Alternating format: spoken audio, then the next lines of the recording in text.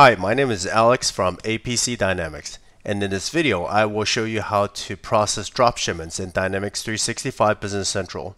There are two main ways to create dropship purchase orders. I'll show you the direct way of creating the purchase order directly and using the second method I will show you how to use a requisition worksheet to create the dropship purchase orders. Let's get started. So we're now on the sales order. For any sales orders that you want to create a dropship purchase order for, you want to make sure you have the sales line marked as dropship. If you don't have this field on your sales order lines, you will need to go to the personalization and add the drop shipment field onto the sales lines. You want to make note of the customer that you are selling to. Also, the ship to code that you want the vendor to be shipping the items to. Now let's go to the purchase order and create a new purchase order. Type in my vendor. Scrolling down on the shipping and payment, you want to make sure you choose the customer address. Define the customer that you are going to be creating the dropship purchase order for, and you want to define the ship to code that you want the vendor to ship to.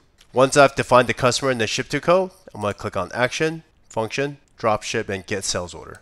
This will give you a list of all of the sales orders that are marked for drop shipment. Choose the order, click OK. And this will automatically bring in the lines for drop shipment. Now I'm going to show you an easier way to create the dropship purchase order. This is the way I prefer to create the dropship purchase orders. You go to the work requisition worksheet and just click on drop shipment and get sales orders. This process will scan all of the sales orders that are marked for drop shipment.